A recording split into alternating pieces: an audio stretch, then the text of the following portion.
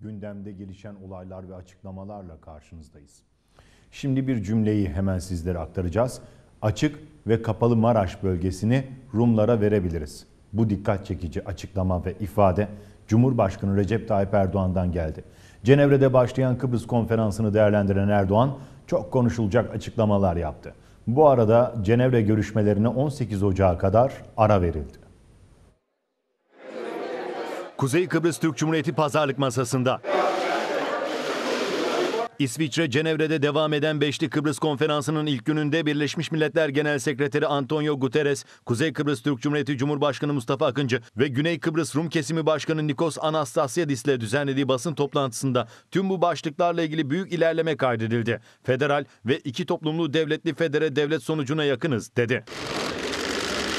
Konferansta Türkiye'yi temsil eden Dışişleri Bakanı Mevlüt Çavuşoğlu ise görüşme takvimi hakkında bilgi verdi. Dışişleri Bakanı Mevlüt Çavuşoğlu, Kıbrıs müzakerelerinde teknik konuları konuşmak üzere 18 Ocak'ta uzmanların, daha sonraki bir tarihte ise bakanların bir araya geleceğini, buradan bir sonuç çıkması halinde de başbakanları davet edeceklerini söyledi. Başbakan Yıldırım ise Cenevre'ye gitmeyeceğini açıkladı. Mecliste gazetecilerin sorularını yanıtlayan Yıldırım, Cenevre'ye gitmeyeceğini ifade etti. Her düzeyde görüşme olur. Yıldırım anayasa görüşmelerini kastederek yok buradaki işimiz hepsinden daha önemli dedi. görmekten Görüşmelere Kıbrıs'tan sorumlu Başbakan Yardımcısı Tuğrul Türkeş'in de katılmaması dikkat çekerken Cumhurbaşkanı Erdoğan'dan kapalı ve açık Maraş bölgesini Rumlara verebiliriz çıkışı geldi. Açık Maraş, Kapalı Maraş o bölgede tamamıyla Güney Kıbrıs Rum yönetimine bırakılır. Basının sorularını cevaplandıran Erdoğan, Cenevre'deki görüşmelere ilişkin önemli açıklamalar yaptı. Eğer Maraş'ı tamamen halkın istifadesine sunmak istiyorsanız bizim ise bir teklifimiz var. Nedir? Erenköy, Erenköy ile Güzel Yurt arası birleştirilmek sureti, suretiyle burası Kuzey Kıbrıs Türk yönetimine bırakılır. Aynı şekilde Açık Maraş, Kapalı Maraş o bölgede tamamıyla Güney Kıbrıs Rum yönetimine bırakılır.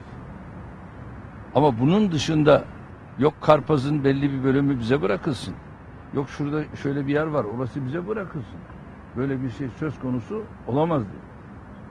Ve bunu da zaten temsilci arkadaşlarımız orada açık net söylediler. Sahil şeridinde şu kadar olsun bu kadar olsun. Bunların hepsi bitmiş şeyler. Anlamda şöyleydi burada böyleydi. Anlam planının artık geçerliliği yok. Şimdi yeni bir müzakere sürecidir. İki, Bire dört. Yani bir dönem Kuzey Kıbrıs Rum yönetimi başkanlık yapacak. Dört dönem Güney Kıbrıs Rum yönetimi başkanlık yapacak. Böyle bir şey de olamaz. Bunu daha önce de konuşmuştuk. Bire iki. Bir dönem Kuzey Kıbrıs Rum yönetimi liderliği alacak. İki dönem Güney Kıbrıs Rum yönetimi yönetimi alacak. Adil olan budur.